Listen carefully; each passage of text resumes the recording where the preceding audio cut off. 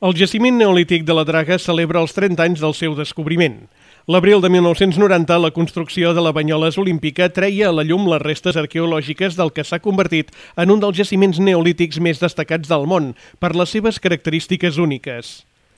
Per celebrar aquesta efemèride i donades les circumstàncies actuals, que no permeten actes presencials, tant el Museu Arqueològic com les institucions implicades en el projecte han creat un cicle de píndoles informatives sobre el jaciment.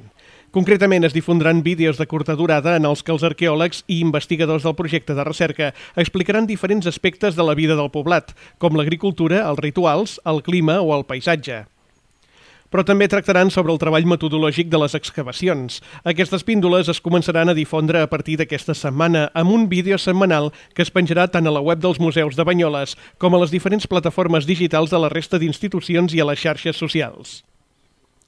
Amb 30 anys al darrere i declarat com a bé cultural d'interès nacional en la categoria de zona arqueològica, el poblat neolític té alguns reptes de futur que es volen anar assolint en els propers anys.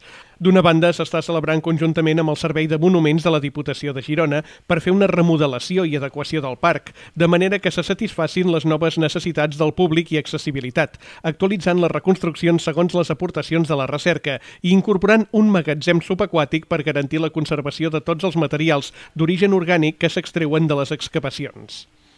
D'altra banda, la remodelació final del Museu Arqueològic oferirà al visitant el context general per situar-se al Pla de l'Estany des dels seus orígens fins a la configuració de la ciutat.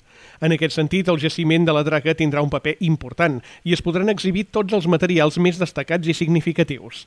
També es preveu implementar un projecte de realitat virtual, entre d'altres.